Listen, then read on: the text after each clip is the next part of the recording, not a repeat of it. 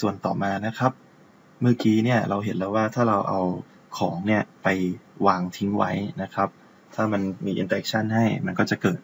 interaction นะครับ แต่ถ้าสมมุติมันไม่มี interaction ให้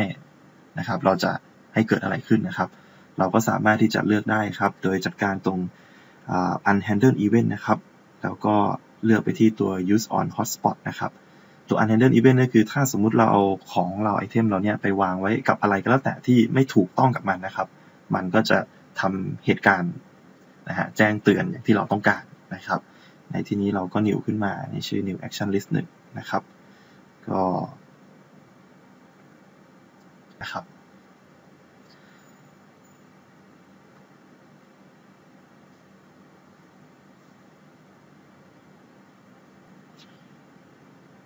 อ่าอันนี้ขอเปลี่ยน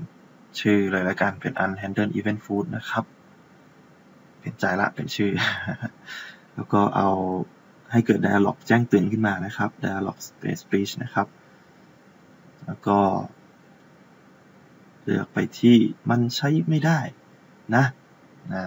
เป็น player line นะครับ ถ้าเอาไปวางผิดปั๊บผู้เล่นก็จะพูดขึ้นมาเลยว่า มันใช้ไม่ได้นะนะครับ เดี๋ยวลองไปดูกันนะฮะเดี๋ยวไปเอาตัวนอนก่อนนะครับ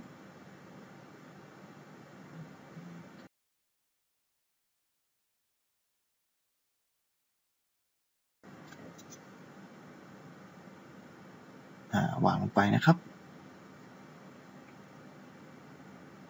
เรียบร้อยมันก็จะขึ้นมานะ มันมันใช้ไม่ได้นะครับ ใช้กับอีธานไม่ได้นะครับเดี๋ยวลองไปใช้กับอย่างอื่นดู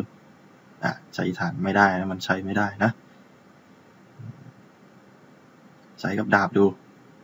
มันใช้ไม่ได้นะนะครับ ก็ประมาณนี้ครับ